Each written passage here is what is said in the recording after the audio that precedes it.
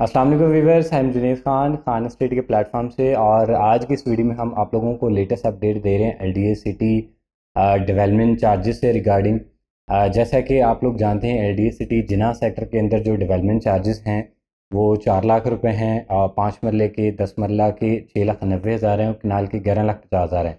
इन्हीं के तकरीबन डबल हो जाते हैं इकबाल सेक्टर के अंदर। इकबाल सेक्टर के अंदर जो डेवलपमेंट चार्जेस हैं, वो पाँच मरले के आठ लाख रुपये हैं, दस मरले के चौदह लाख रुपए हैं, किनाल के तेईस लाख रुपए डेवलपमेंट चार्जेस हैं। ये डेवलपमेंट चार्जेस जनरल प्लॉट्स के हैं और इनमें फिफ्टी परसेंट एल ने डिस्काउंट देने के बाद ये अमाउंट बन रही है।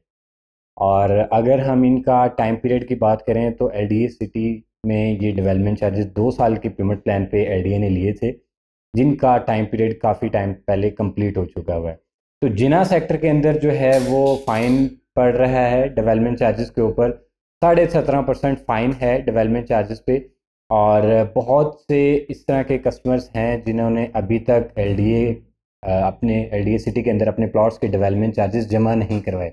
जिसकी वजह से LDA सिटी जिना सेक्टर के अंदर डेवलपमेंट की ताखीर हो रही है। अंडरग्राउंड इलेक्ट्रिसिटी का काम हो रहा है ये डिले हो रहा है। लेकिन अब LDA ने एक्शन ले लिया है। जिन लोगों ने अभी तक डेवलपमेंट चार्जेस अपने जमा नहीं करवाए वो डेवलपमेंट चार्जेस अपने जल्द से जल्द जमा करवाएँ। दो मंथ का टाइम पीरियड दिया है एल ने। अदरवाइज़ जो दो मंथ के बाद भी अपने डेवलपमेंट चार्जेस जमा नहीं करवा सकेगा, उसके डेवलपमेंट चार्जेस इकबाल सेक्टर वाले जो डेवलपमेंट चार्जेस हैं, वो सेम इम्प्लीमेंट किए जाएँगे जिना सेक्टर के प्लॉट होल्डर्स पे। जिनकी एक इंस्टॉलमेंट हो, दो हो, तीन हो, या जितनी भी पेंडिंग होंगी, उन पे जो नए डेवलपमेंट चार्जेस हैं, वो इम्प्लीमेंट किए जाएँगे। और इसके साथ साथ उनसे सरचार्ज भी लिया जाएगा। जिन दोस्तों ने अभी तक डेवलपमेंट चार्जेस जमा नहीं करवाए, उनको ऑलरेडी काफ़ी ज़्यादा सरचार्ज पड़ पड़ चुका हुआ है। तो अपने डेवलपमेंट चार्जेस क्लियर करें और ताकि अपने एक सरचार्ज से बचें और ये जो नया डेवलपमेंट चार्जेस है, वो डबल हैं तो उनसे बच सकें। तो मैं अभी भी अगर बात करता चलूँ जिना सेक्टर के जिस तरह अगर हम पाँच मरले की बात करें तो पाँच मरले पे जो डेवलपमेंट चार्जेस हैं, वो चार लाख रुपए हैं। सरचार्ज लगा के तकरीबन लाख, डेढ़ लाख के करीब सरचार्ज है। तो ऑलमोस्ट साढ़े पाँच लाख के करीब बन जाते हैं।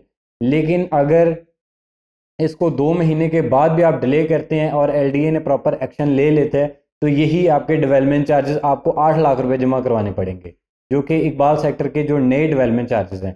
तो डिले ना करें, आप अपने डेवलपमेंट चार्जेस को जमा करवाएँ ताकि एलडीए भी अपनी जिम्मेदारियों को पूरा करे और एलडीए सिटी जिना सेक्टर के अंदर जो रिमेनिंग डेवलपमेंट रहती है इलेक्ट्रिसिटी का काम रहता है, उसको कंप्लीट कर सके। आप हमारे यूट्यूब चैनल को ज़रूर सब्सक्राइब करें ताकि इसी तरह के आप लोगों को लेटेस्ट अपडेट मिलती है